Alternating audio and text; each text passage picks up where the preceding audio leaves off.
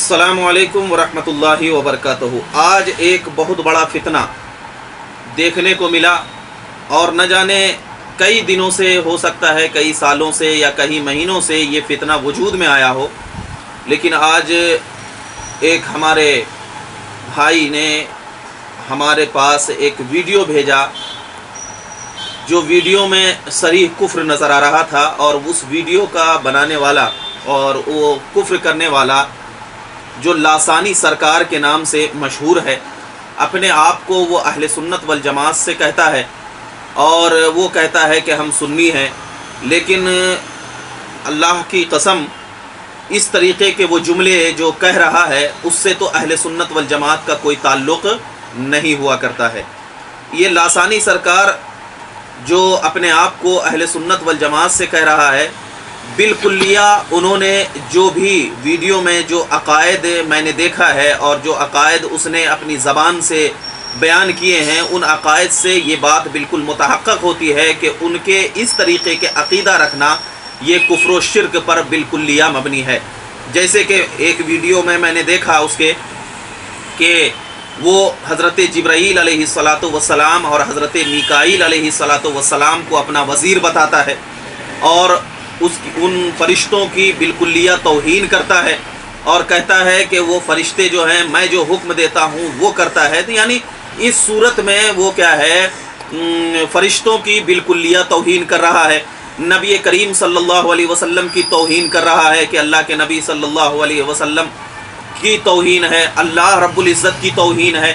تو اس طریقے کی یہ بات بالکل ذہن و دماغ میں تمام اہل سنت والجماعت رکھ لے کہ انسان وہی کامیاب و کامران ہے جو اللہ رب العزت کی وحدانیت کو اس طریقے سے مانے جس طریقے سے اللہ رب العزت نے کلام مقدس میں اپنی وحدانیت کا تذکرہ فرمایا ہے۔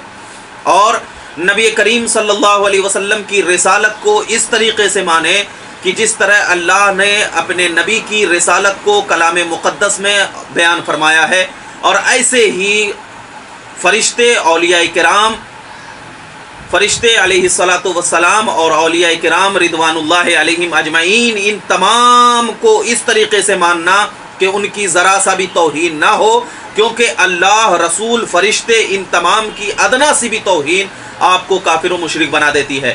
تو آج بہت سارے لوگ یہ کہہ رہے ہوں گے کہ دیکھو یہ اہل سنت کا نظریہ ہے، اہل سنت کے لوگ فرشتوں کی توہین کرتے ہیں، اللہ کی توہین کرتے ہیں اور کیا ہے نبی کی توہین کرتے ہیں تو میں ان لوگوں سے بالکلیہ کہنا چاہتا ہوں کہ ایسے لوگوں سے اہل سنت کا کوئی تعلق ہی نہیں ہے۔ ارے اہل سنت تو وہ ہے جو تمام نبیوں کو نبی اور رسول مانتی ہے۔ اہل سنت تو وہ ہے جو فرشتوں کی تعظیم کرتی ہے۔ اہل سنت تو وہ ہے جو اللہ رب العزت کی وحدانیت کے قائل ہوا کرتی ہے۔ اب یہ لوگ جو پاخنڈی ہیں، جو لوگ یہ کہہ رہے ہیں کہ یہ طریقہ جو اہل سنت کا ہے، یہ بالکل درست نہیں ہے۔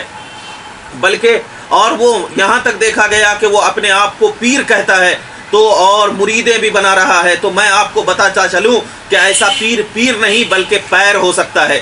پیر تو وہ ہوتا ہے کہ پیر کے لیے سب سے پہلی شرط یہ ہے کہ وہ شریعت اسلامیہ کا مکمل پابند ہو۔ یعنی شریعت اسلامیہ پر مکمل چلنے والا ہو، شریعت اسلامیہ کے خلاف ذرا سا بھی اس کے قدم نہ ہوتے ہوں۔ تو اب ذرا بتاؤ کہ جو شخص فرشتوں کی، حضرت جبرائیل، حضرت میکائیل کی توہین کر رہا ہو، تو کیا وہ شخص شریعت اسلامیہ کا مکمل پابند ہوگا؟ بالکل نہیں ہوگا۔ تو لہٰذا پیر کی سب سے پہلی شرط یہ ہے کہ وہ شریعت اسلامیہ کا پابند ہو۔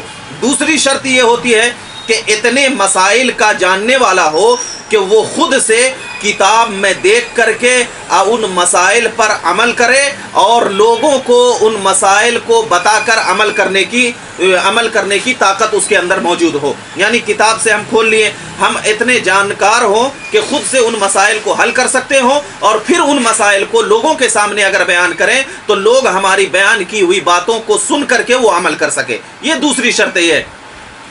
اور تیسری شرط یہ ہے کہ جو پیر ہوا کرتا ہے، اس کا سلسلہ نصب نبی کریم صلی اللہ علیہ وسلم تک اس طریقے سے ملتا ہو کہ بیچ میں کوئی کٹ چھانٹ نہ ہو، بلکہ اس کا سلسلہ عقائد و جہاں صلی اللہ علیہ وسلم تک ملا کرتا ہو۔ تو یہ پیر کے لیے یہ شرط ہے۔ اور ان شرطوں میں سے اگر کوئی ایک شرط بھی نہیں پائی گئی، تو وہ پیر پیر نہیں ہوتا ہے، بلکہ پیر ہوا کرتا ہے۔ اب اس شخص کے جو شخص اس کا مرید ہوگا تو اب اس کا مرید بھی نہیں کہلائے گا، بلکہ اس پیر سے بالکل الگ ہونا اور اس سے بیعت توڑنا لازم ہے۔ توڑنا کیا؟ وہ خود ہی ٹوٹ جائے گی بیعت، جب اس شرائط نہیں پائی جائے گی۔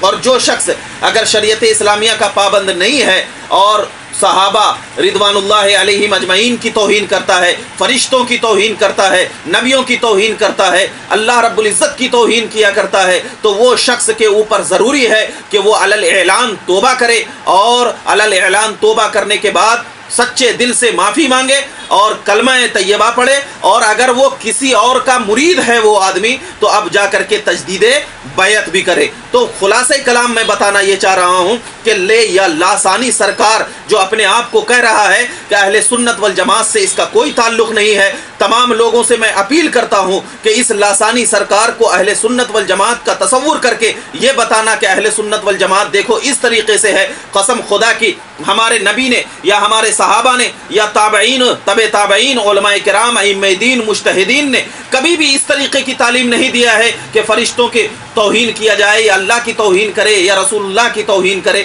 کیوں؟ اس لیے کہ ہم اہل سنت والجماعت اس مذہب کا نام ہے، اس مسلک کا نام ہے، اس اس مسلک کا نام ہے جو اللہ اور اس کے رسول کی پیروی کرتا ہو، کیونکہ اللہ نے فرمایا اتی اللہ و عطی الرسول و اول الامر منکم۔ اللہ کی فرما برداری کرو رسول اللہ کی فرما برداری کرو۔ اور جو تم میں زیادہ علم والے ہیں، اس کی فرما برداری کرو۔ تو لہٰذا یہ شخص زندیق ہے، شیطان ہے، رحمان کا کبھی دوست نہیں ہو سکتا اور شیطانوں کے ساتھ جانا خود ایک شیطانی کام ہے، لہٰذا آپ لوگ اس شیطان سے بچیں اور دوسروں کو بھی بچائیں۔ مولا تعالی ہم تمام کو ایسے پاخنڈی پیروں سے بچنے کی توفیق عطا فرمائے۔ واللہ عالم و رسول عالم بصواب السلام علیکم۔